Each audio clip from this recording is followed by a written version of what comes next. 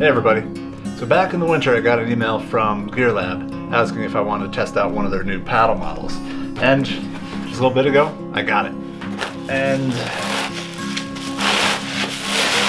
hasn't even touched the water yet. So this new carbon paddle is supposed to be the lightest and thinnest paddle they've made yet. Let's take a look at it. This is the new Kalleq carbon fiber Greenland paddle. So on first inspection of this paddle, the first thing I notice is this thing is crazy thin. I mean, yeah, you can see, see just how thin this thing is. Feels pretty good in the hand, really sharp down on the ends. That's, if I'm repeating myself, I'm sorry. This thing is so sharp. Probably the one of the sharpest Greenland paddles I've ever seen carbon or wood or anything. This is unbelievably sharp, especially at the tip. And at the end of the blade, we have the same style of removable, replaceable tip. Uh, this time, though, the shape is much different. It's a very, it's a blunt style on it. A little bit different from what we usually see. If I compare it to the paddle that I took with me to Greenland last year, you can really see the difference in the end of the blade shape here. Uh, but what's interesting to me is, even just within this last year, these blades have gotten crazy thin now. Now looking at this paddle, they've uh, done a really subtle thing with the logo this time, so it just barely stands out in contrast with the back background weave. And even the weave pattern has changed.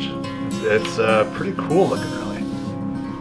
So this paddle I got is a 225, so it's a little shorter than what I would usually use for touring, but um, I will be using this for surfing, I will be using this for playing around and um, teaching with. So a little bit shorter paddle for me, I know works really well.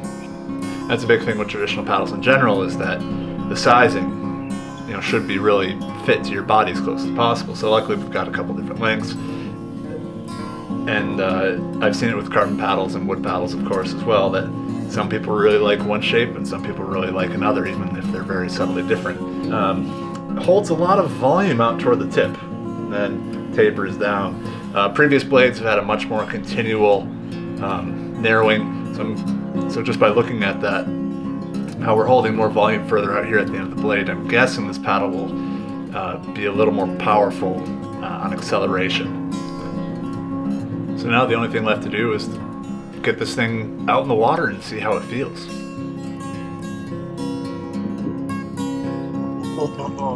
This thing is. The thing I'm really excited to test this out with is um, really a really fast forward stroke and some maneuvering.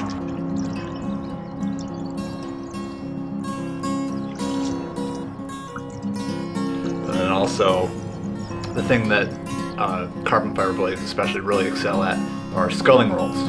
So when these blades are so thin, whenever you transition angle to do a scull, the blade just catches and moves a lot of water. But if the blade's, um, like most wooden paddles, if it's more round, has a lot more volume, the paddle's a lot slower to move through the water and sculling rolls can be a lot more difficult.